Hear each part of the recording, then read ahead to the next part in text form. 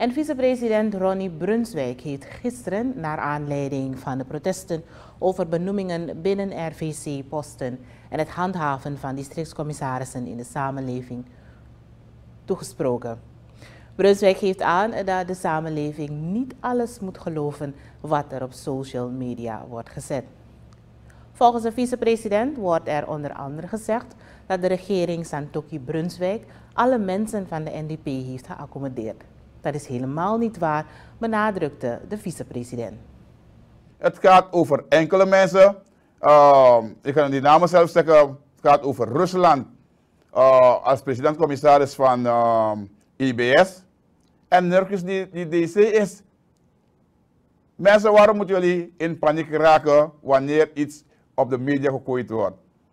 Wij zijn ten alle tijde bereid om u de informatie te geven, de juiste informatie. Ten aanzien van Rusland is er uh, gesproken en een, een, beleid die is al ontstaan, die aan het afronden is. Hebben wij in samenspraak met de president gezegd dat deze meneer Rusland mag afronden. En dat hij aanblijft voor nog een aantal maanden. Ja? En dan rondt hij af, dan gaat hij weg. Voor wat betreft meneer Nerkus, die DC, we hebben 18 DC's benoemd. En geen enkel DC is nog weg. Dan komt er in de samenleving. Ja, meneer Nerkus gaat blijven, die gaat blijven. Dus, sma, al die volk met tegen hoe dit gerust. Voor Brunswijk is er niets aan de hand. Het kan er bij hem dus niet in dat mensen werden opgeroepen om te protesteren tegen de benoemingen. De VP vraagt zich in gemoede af waarvoor dat nodig is. Waarvoor ga je protesteren? We zitten amper nauwelijks nog geen maand. Drie weken zitten we aan.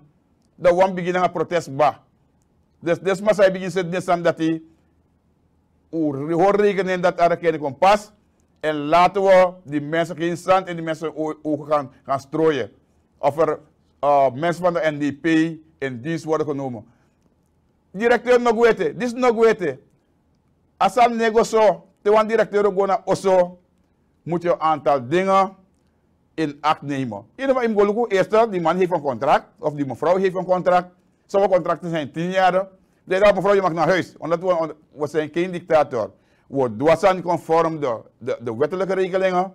Dan gaan we kijken, is die contract uh, ristig, is die contract wettelijk goed gedekt?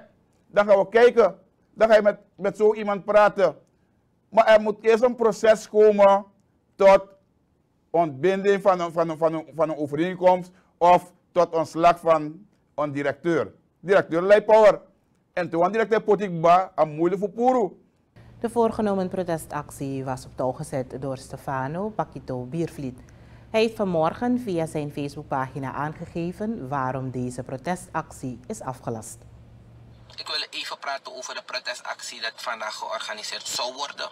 Hierbij wil ik jullie teleurstellen dat het niet doorgaat en dat het niet door kan gaan vanwege de COVID-gevallen die aan het stijgen zijn.